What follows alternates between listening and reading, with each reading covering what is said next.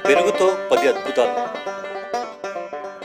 కొద్దిగా జీలకర్రను తీసుకొని పొడి చేసి దాన్ని ఓ కప్పు పెరుగులో కలుపుకొని తింటే త్వరగా బరువు తగ్గుతారు. కొద్దిగా నల్ల ఉప్పును తీసుకొని బాగా పొడి చేయాలి. దాన్ని ఓ కప్పు పెరుగులో కలుపుకొని తాగాలి. దీనివల్ల జీర్ణ సంబంధ సమస్యలు దూరమవుతాయి. ప్రధానంగా గ్యాస్ ఎసిడిటీ సమస్యలు తగ్గుతాయి. పెరుగులో చక్కెర కలుపుకొని తింటే శరీరానికి వెంటనే శక్తి అందుతుంది. మూత్రాశయ సంబంధ సమస్యలు కూడా పోతాయి. నోటిపూత దంతాల నొప్పి ఇతర దంత సంబంధ సమస్యలు పోవాలంటే ఓ కప్పు పెరుగులో కొంత వాము కలుపుకొని తినాలి. నల్ల మిరియాల పొడిని ఓ కప్పు పెరుగులో కలుపుకొని తింటే మలబద్ధకం దూరం అవుతుంది.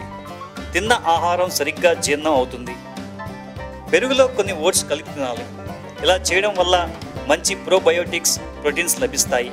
ఇవి కండరాల పుష్టికి దోహదం చేస్తాయి. పెరుగులో వివిధ రకాల పంటను కలిపి తింటే రోగనిరోధక వ్యవస్థ పటిష్టమవుతుంది.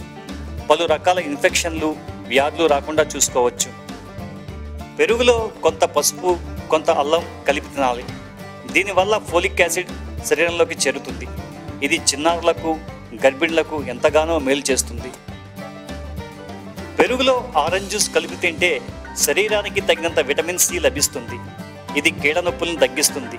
వృద్ధాప్య ఛాయలను దూరం చేస్తుంది. పెరుగులో తేనె కలిపి తీసుకుంటే కడుపులో ఉన్న అల్సర్లు మటుమాయమైపోతాయి. ఈ మిశ్రమం యాంటీబయోటిక్గా పనిచేస్తుంది. దీనివల్ల శరీరంలో ఉన్న ఇన్ఫెక్షన్లు వెంటనే తగ్గుతాయి.